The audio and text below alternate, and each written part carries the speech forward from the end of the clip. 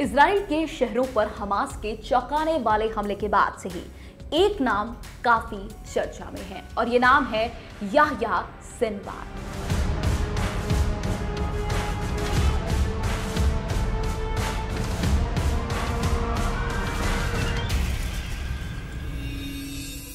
Hamas में इस्माइल हानिया के बाद नंबर दो का नेता कहा जाता है, याहया सिनवार।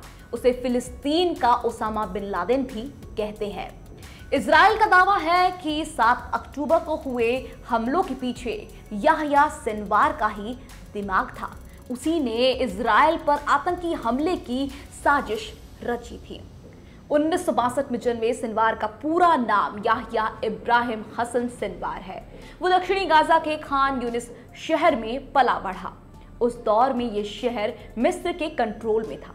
इजरायली सेनाओं ने उसके होम टाउन के नाम पर सिनवार को खान यूनिस का कसाई कहा है।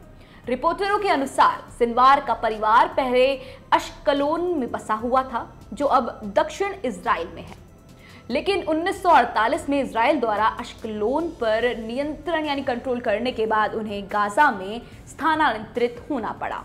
अशकलोन को पहले अल मजदल के नाम से जाना जाता था। सिनवार ने गाजा में इस्लामिक यूनिवर्सिटी में अरबी में ग्रेजुएशन किया था। याहिया सिनवार ने साल 1988 में दो इजरायली सैनिकों का अपहरण करके उनकी हत्या कर दी थी। इस मामले में उसे इसराइल ने गिरफ़्तार किया और उसे उम्र कैद की सजा सुनाई।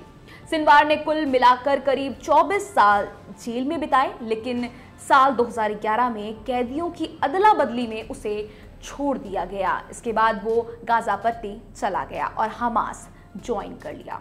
हुआ यूँ कि हमास की सैन्य शाखा इज़ अल दीन, अल कसम ब्रिगेड की एक टीम ने 2006 में इसराइल के इलाके में घुसने के लिए सुरंग का इस्तेमाल करते हुए एक सेना चौकी पर हमला कर दिया।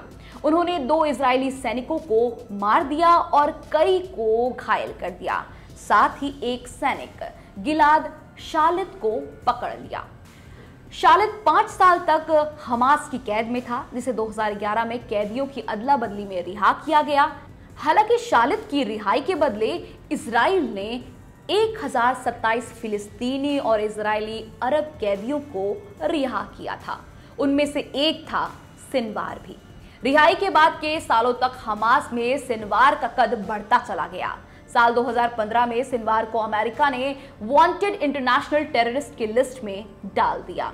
अमेरिकी विदेश विभाग के एक डॉक्यूमेंट में सिनवार को आतंकी घोषित करते हुए कहा गया कि हमास की सैन्य शाखा इस दिन अल कसम ब्रिगेड की स्थापना में उसकी अहम भूमिका थी।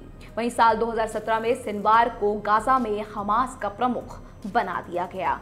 वहीं अब इजरायली सेना और पूरे इसराइल का कहना है कि हमास ने जो 7 अक्टूबर को इसराइल पर हमला किया था, उसकी पूरी प्लानिंग सिनवार ने ही की थी। और अब पूरा इसराइल सिनवार की तलाश में जुटा हुआ है।